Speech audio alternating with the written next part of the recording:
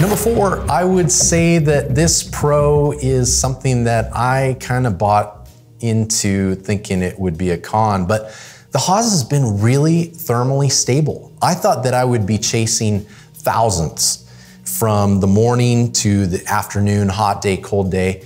The most I've seen um, vary is about eight tenths, maybe a thou. Uh, if we're going from very cold, it's been sitting, we had a cold weekend, and then Monday morning we have a heat wave roll into Southern California. Um, and so the shop is still cold. We roll up the doors, change the, the temperature. Uh, we don't have a big temperature fluctuation, of course, being Southern California. We're never in freezing temperatures. And it's really rare that we experience uh, 100 degree days, and especially 100 degrees in the shop. We're not climate controlled. Our next facility will be.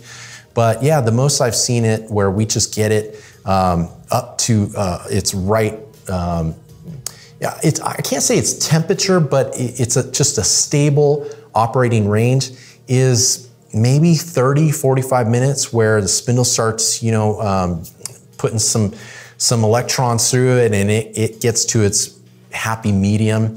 And then we chase those first maybe five, 10 parts, adjust, and then we get into a nice flow. We walk away pretty much for the rest of the day.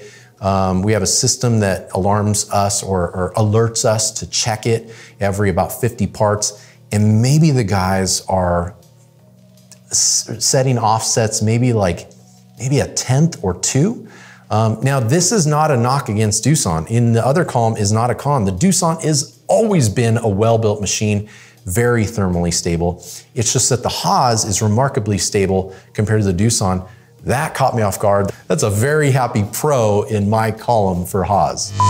All right, so in editing this, we actually discovered something else about the Haas control. It has thermal compensation in a startup. So where it takes, you put in a, a block of time, we have it set to one hour, and you tell it how much it varies in that amount of time. Ever since we've done that, it's even been more accurate than we anticipated. So lesson learned on this one, don't always talk like you're an expert when you haven't had a lot of time on stuff. Hint, hint, message boards, anyone?